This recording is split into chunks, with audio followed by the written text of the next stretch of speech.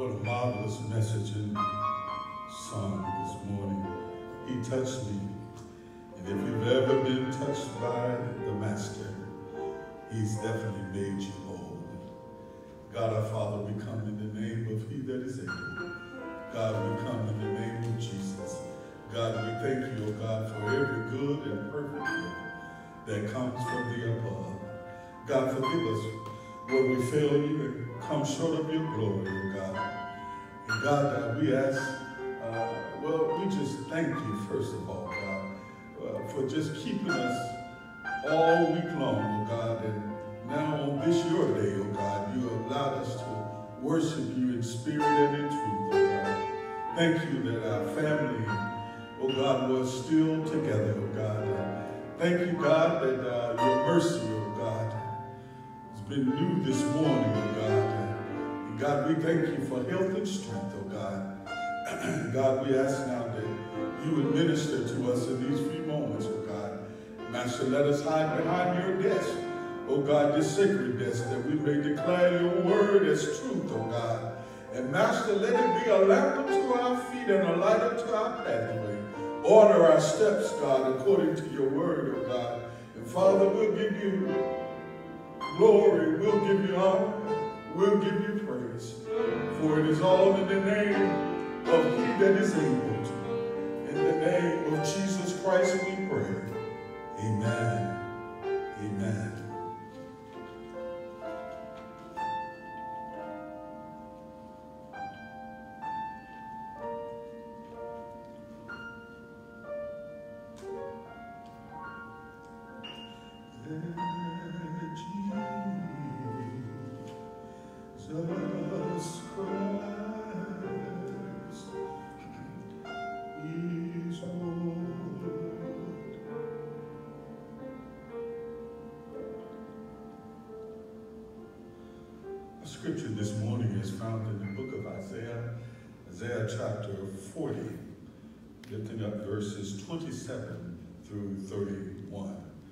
Book of Isaiah chapter 40, verses 27 through 41.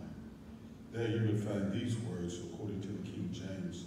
Why sayest thou, O Jacob, and speaketh, O Israel, my way is hid from the Lord, and my judgment is passed over from God.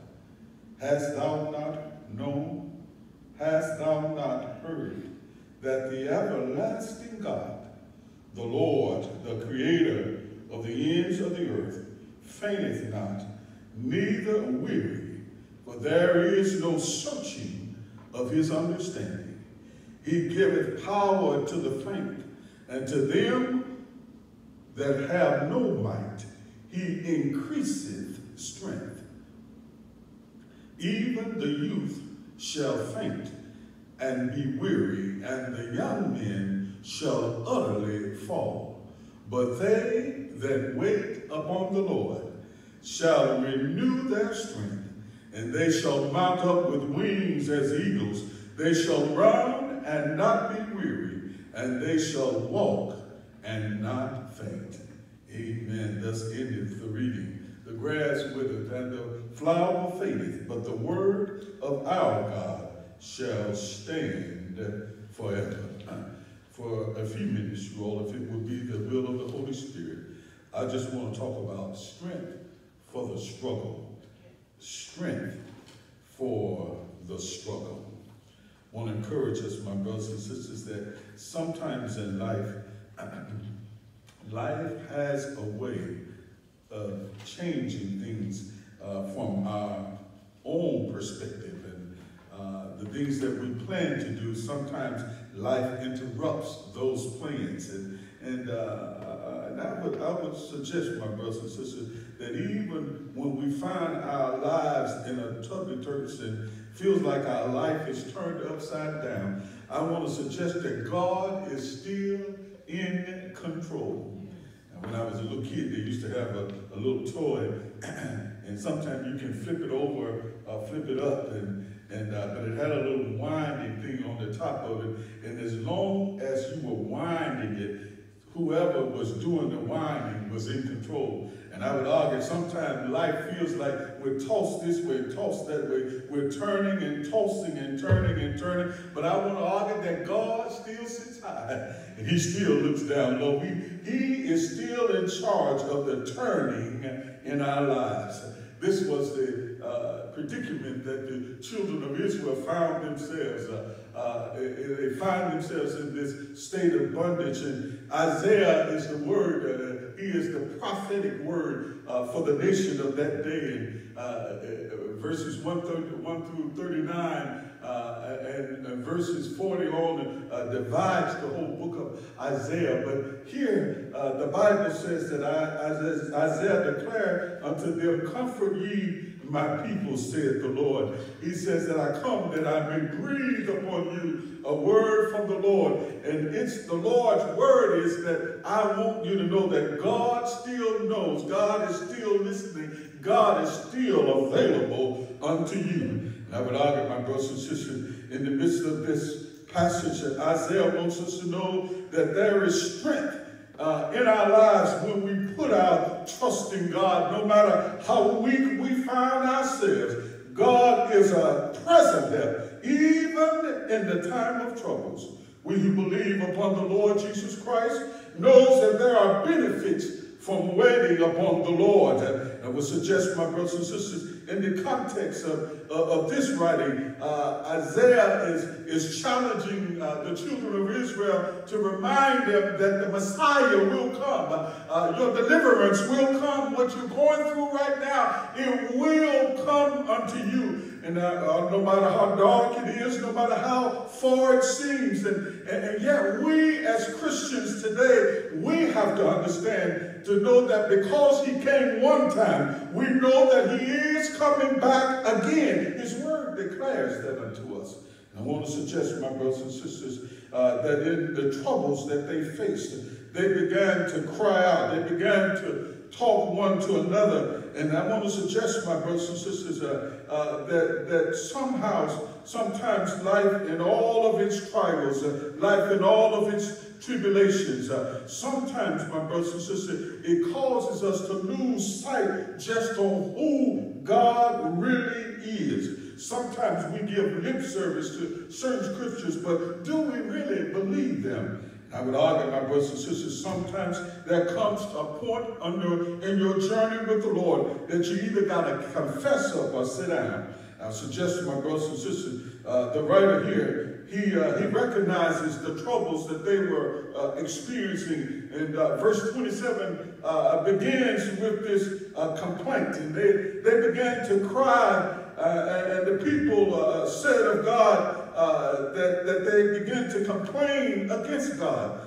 Uh, why do you so, Jacob, and speak, O Israel, for my way is hidden from the Lord, and, uh, and, my, and my right is disregarded by God. Uh, notice here the language that uh, they use in talking about God. Uh, they, they, they set this thing up as if God was somehow playing, uh, playing hide and go seek with them, that God had sent them on a journey and somehow left them all by themselves. Where, oh Jacob, why call upon him? Uh, does he not care? Uh, does he not know where we are? Does he disregard us in the midst of it? I would argue, my brothers and sisters, sometimes there are certain situations in our lives that we wonder, where is God in the midst of it? Sometimes, y'all, the pain and the sorrow of our trial and tribulation makes us wonder, how long, God, will you come unto us? And the text uh, makes it no difference in this way uh, that they cry out unto God. And, and, the Bible says Isaiah hears their cries. And notice here, he, he acknowledged them. He acknowledged how they feel, but he does not affirm what they say. And I would argue, my brothers and sisters, sometimes your feelings uh, get caught up in the truth. And, uh, uh, he recognized and, and, and, he rebuked them for their complaining against God. And, and, uh, and, I, and I want to argue, my brothers and sisters, uh, uh, he, he says unto them, you know, why do you say that God is high? Uh, I, I, I, got a word for you to let you know that God hasn't forsaken you, nor has he forgotten you. But before I tell you my prophetic word, I feel like I got to remind you what God has already done. And every now and then, y'all, we need a, a, a, a a reminder uh, to recollect what God has done. Sometimes we're dealing with situations, but if we if we just remember, God brought us through this thing before. God had made a way before. God had healed my body before. And, and, and Isaiah said that before you complain against God, he says, I want you to take time and remember what the Lord has already done for you. Isaiah says here that before I tell you what God is about to do, I want to, I want to take you back on a journey. And if you read uh, the text, Isaiah is saying is that uh, I'm not here to impart revelation in so much as I'm, I'm willing to impart recollection. Uh, that, that I want you to remember, review in your own minds. And, and there are things about God uh, that you should already know about God. God is not hiding from you. God is not uh, deserting you. The, the problem Isaiah suggests is that it seems as though not that God has moved, but that you are looking in the wrong direction. I would argue, my brothers and sisters, sometimes uh, uh, uh, we, if we're not careful, even in our society today, that our focus is on the Democratic Party and our focus is upon the Republican Party. But I would argue, my brothers and sisters, whatever God's going to do through America, he doesn't need the Republicans nor the Democratic Party. All he needs is if my people, which are called by my name, will humble themselves and pray, seek my face, and turn from their wicked ways. Then will I hear from heaven and will forgive their sins and will heal their land. Uh, listen, I want to suggest, my brothers and sisters, that the United States need a healing. There needs to be a time when, when we all can come together. And I would argue, my brothers and sisters, nothing like a pandemic that will bring folk together. But I would argue, my brothers and sisters, it's just like man to bring about division and deceitfulness. the Bible says here that he declares unto him uh, that, that God himself is directing. God himself is in charge of this situation. And, and uh, he says uh, that he deals with them in, in, in, in verse uh, number 20, 27 and says, O Israel, my way is hidden from thee and, and thy judgment is passed over from my God. And the Bible says, uh, uh, Isaiah begins to respond. He says Uh, that God has not forgotten you. God, God knows exactly where you are. He says, but have you forsaken your God? Have you taken time to call upon the name of your God? And I would argue, my brothers and sisters, I would argue that God has a way of showing up in the midst of showdowns.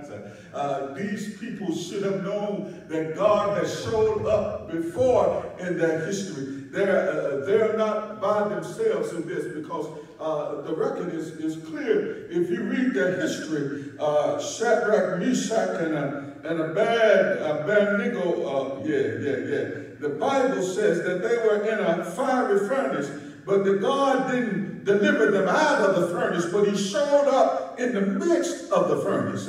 Bible says that, that, that Noah one day was in the midst of a flood, but God showed up at the right time uh, to recommend and to light unto them what God was doing in their lives. I just want to suggest to you, my brothers and sisters, that God has a way of showing up. And if we recognize him, if we lift him up, my brothers and sisters, God will show up in our situations as well. I suggest to you, my brothers and sisters, in this text, he, he makes sure that we understand who God is and how God works in our lives. And I would argue, my brothers and sisters, uh, my first point is that, uh, that if we're going to uh, fulfill this strategy, uh, then, then we, we've got to recognize uh, that God is sovereign. Uh, for the text says that he is the creator of the end of the earth. Uh, this is found in verse 20, uh, 28. He says, Hast thou not known?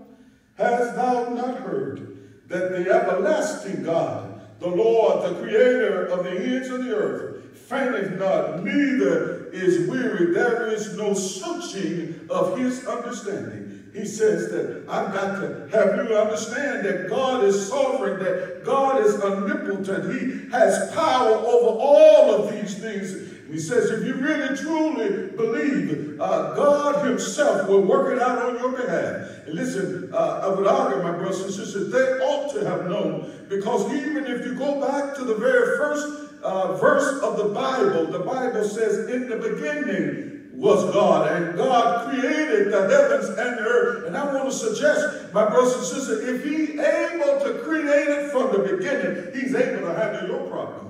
He's able to handle your situation. He's able to handle their situations. And the scriptures declares that God, who is our creator, says that the, uh, the one that creates a thing is greater than the thing that he created. And, and so he, he says unto them that, that I created you and, and God is greater than you. And, and if we recognize the power of our sovereign God, we recognize that he's able to deliver us. The text says that uh, he, he, he declares unto them that, that there is thou creator. And he says that uh, what can you find anything that God is not in charge of? Uh, the creator is the end of the earth, the text says. Uh, uh, then going on in verse 28, he says, not only is God eternal, but he says God is omnipotent. That is, that he has all power uh, in creation of the world and all that is a part of the world. And I want to suggest here, uh, notice here, not just what God can do, but notice here what God cannot do. He says he does not faint. He does not grow weary. I don't care about you. I don't know about you, but we ought to praise God for what he cannot do. Praise God that he doesn't get tired. Praise God that he doesn't faint in the situations of life. And I would argue, my brothers and sisters, may have situations in life that you don't understand, that you don't know how you're going to get through it, but beware that God is able to deliver. The text says, uh, that if, if you just trust him, is what he's saying to the children of Israel. but I, I, want, I want to suggest, y'all, that we've got to be careful, y'all, that sometimes we think that our challenges are too big for God. But I want to suggest y'all that if you got anything that's too big for God, uh, then God didn't create it, then, uh, then, then it's, it's in your eyes, but not in God's eyes. The text says that, that not only was God eternal, not only was he sovereign uh, in this, uh, because he is a sovereign God, uh, but, but the Bible says in this text that he was unsearchable. Uh, the text says that his understanding is unsearchable. Not only is God able, but, uh, but God uh, will do it. He says God always knows all things. Uh, Psalms 45 and 3 says, Great is the Lord and greatly to be praised, and his greatness is what? Unsearchable. I want to suggest to you, my brothers and sisters, that we serve a God that there is no full understanding of just who he is. And I want, to I want us to understand that his works are wonderful. His powers are, are mysterious. And, and, and yet, yet, y'all, only God can do it. Listen, that reminds me of old hymn of the church.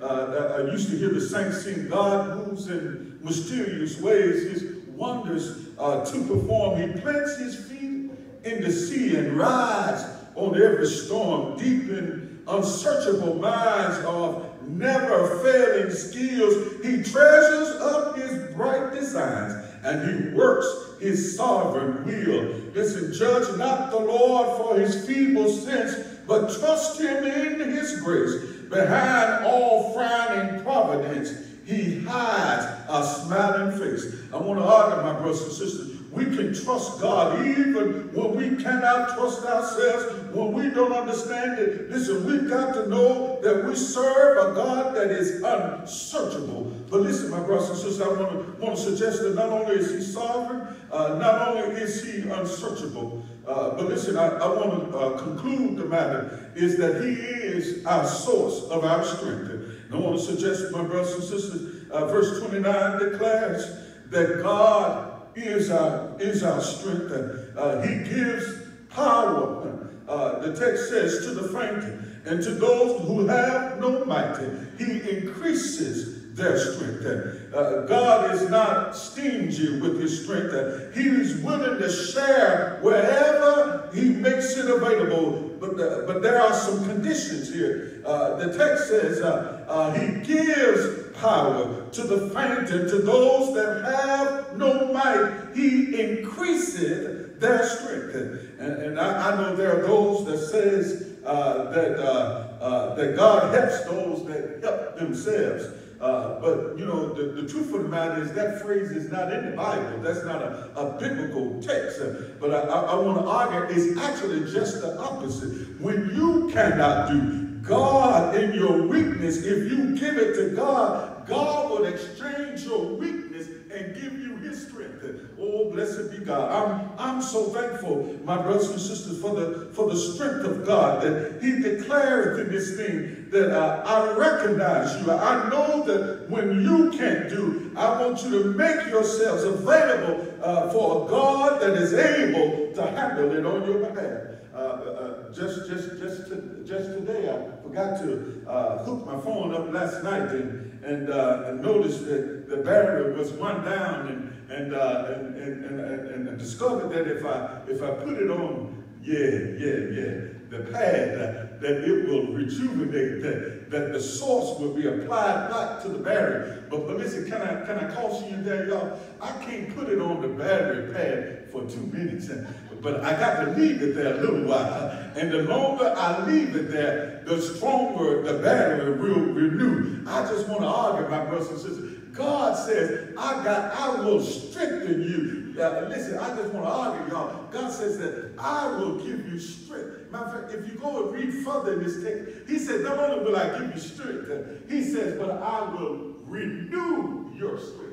He says, I got, I got stuff that you hadn't even experienced yet. And, and I, I don't want to suggest y'all, sometimes we become tired and weary, and sometimes even if Christians, uh, if we tell the truth, we too become tired and weary. But all my brothers and sisters, if we will give God our weakness, if, if we turn over that that we can do, God is faithful and he's able to bring us through it. The Bible says that uh, he, he declares unto them that, that my God is, is able. He, he offers his strength unto us. But notice, my brothers and sisters, uh, that God won't force it upon us. We've got to yield it unto us. Because I know sometimes, y'all, that we think that we can do it all. But but but listen, uh, if you can go on and God will let you go on in your own self-sufficientness. Uh, but, but you will come to recognize that you need a power that's greater than you are. Uh, he, he argues here uh, in this text uh, that, that, that, that I don't care how strong you are. He said, God increases strength. But notice he says that even the youth shall faint and be weary, and the young men shall utterly fall. He says that I know that what it looks like that ought to be there. He says, but one day it too will fall shattered. It too will not accomplish what it desired to be. And I want to suggest, my brothers and sisters, uh, that God says that uh, that I got a I got a, a, a weapon even for that. For he concludes in the last verse, he says, but they that wait upon the Lord. And I'm so glad, my brothers and sisters, that he, he declares it this way. He doesn't say uh, that he's going to do it uh, by September the 1st, but he says that I'm going to do it at my time. They that wait upon the Lord, the Bible says they shall renew their strength.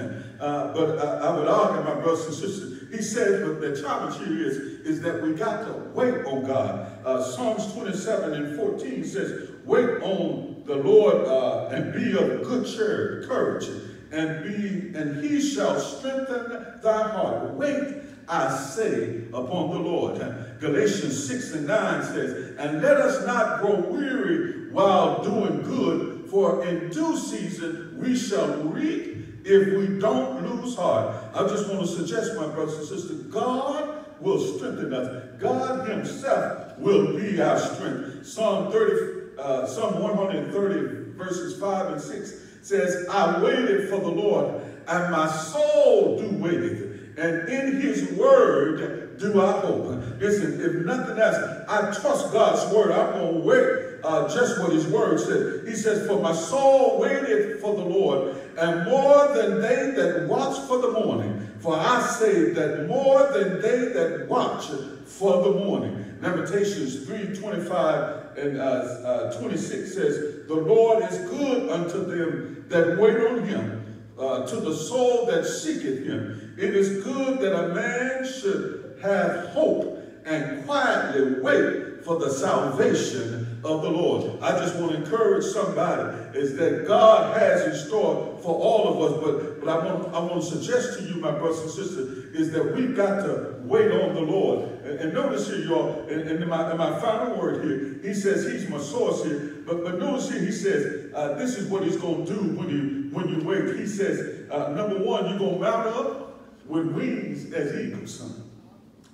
And uh, he says that, you know, sometimes when, when you wait on God, uh, God has a way of showing up. And, and y'all, sometimes God will just show up in the midst of your showdown. So, sometimes uh, God doesn't move you out of it. He, he just shows up in the midst of it. And, and uh, he gives this illustration of an eagle, mother eagle. Uh, when an uh, eaglets are in trouble, she just jumps down and, and rescues them. And uh, at, my, at our home, uh, in the, the front rafters of our house, uh, every year, birds make their nests there, and and we see them as they move from eggs to uh, little little little birds and and, and then uh, it's interesting to watch them try their wings and and, uh, and, and, and every year since we've been there practically uh, they built a nest there and, and they go and you can see them as they flap and, and, and, and, sometimes they go and take a little dip and then they go back to the nest and uh, perhaps they're just experiencing and they're tired from from their trials and and and, and, and yet uh, the mother will come at a certain time and she will provide for them. But y'all, there comes a time uh, when the mother birds stop coming to provide and she allows them that they may go and fetch their own. And, uh, and you can see them uh, in their size. They move, they'll move from the front of the house to the back of the house. And we, we know now when they move to the back, uh, they are preparing, they're searching on their own. And I want to argue, my brothers and sisters, every now and then, God, God doesn't come when we want him to. Sometimes God waits to the very last moment and he'll show up. And, and, and listen, y'all, I, I, I know for myself, I can, I can testify with this with y'all, that sometimes God shows up in the 23rd hour. Sometimes God shows up while you're still asleep. But God will show up, y'all, in the midst of it. He says that they shall mount up with wings as eagles. And God gives you a way of escape from it all. But then he says, uh, uh, secondly, he says they shall run and not be weary. And I want to suggest, y'all, that sometimes, y'all, that God would allow you to run through it there. Sometimes are circumstances of life that God will give you enough strength uh, that you'll be able to run through it. Uh, sometimes he doesn't always pick you up and deliver you, but sometimes he'll give you energy to run through it. Uh, and listen, y'all, and sometimes when you're running, it feels like you ain't making no way. Sometimes when you run, it doesn't feel like you're making any progress. Have you ever gotten on your, your treadmill and, and, and you know you're not going nowhere? You know you're stationary, uh, but, but you keep on running in the same place, but sometimes it feels like you're not good. And, and, and sometimes you need something to motivate you. And, and oftentimes when I, uh, when I get on the treadmill, I, I, I, I usually get, in, get on it uh, as something is on TV. And, uh, and I watch the show while I'm, uh, while I'm on the treadmill. And I learned this from from another preacher, and and uh, and it helps to give you focus. It, it helps to keep you focused while you're running. And, and, and, and, and at the end of the program, you would at least run 30 minutes, or you would have at least run an hour, and you're focused based upon what you see up ahead. I just want to argue, my brothers and sisters, God got something ahead of us. And listen, all you got to do is to keep on running. Listen, God's got you. He knows the energy you need. He knows what you what it will take to get you to your place. Uh, but listen, I just want to encourage you to keep on running. But listen, y'all, sometimes God doesn't swoop down and deliver you. Sometimes God don't run you through it. But the text says, finally, uh, he said they may walk. Help me somebody and not faint. I would my brothers and sisters. Sometimes, y'all, God will let you walk through this thing. You know, one interesting thing on trivia, and uh, uh, uh, I learned this in military, on the trivia, they teach you when you come to a point of, of finishing, you don't stop and jump off, but you decrease it level by level until you get to the point where you just walk. Walking and you slow your pace down you slow your pace down and then you're able to walk right up. You see, God, God in his own way, he's working out some things that God will just let you walk your way through. Listen, I heard David say, uh, yea, though I walk through the valley of the shadows of death. David said, I don't have to get in no hurry. I don't have to worry about it. Why? Because thou art with me. Thy rod and thy staff, they comfort me. I want to suggest to you, my brothers and sisters, that, that God is sovereign. That, that God is, is, is in his own way unsearchable. God, our God, uh, is the source of our strength. And whatever it is that you're going through, I encourage you, turn it over to Jesus and let him make it out, make it right in your life. And God, our Father, we come in Jesus' name. We love you. We thank you. We praise you, God, for your rich and many blessings. Forgive us where we failed you and come short of your glory. God, minister to us in this time of invitation. And we'll be faithful to give you glory, honor, and praise. For it is in Jesus' name we pray. Amen. Yes, God is real. I can feel it in my soul.